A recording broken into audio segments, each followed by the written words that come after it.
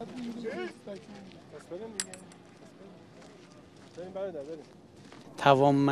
capability of our nation and Iran's armed forces is such that it can stand against all threats, and it is a mistake to test us.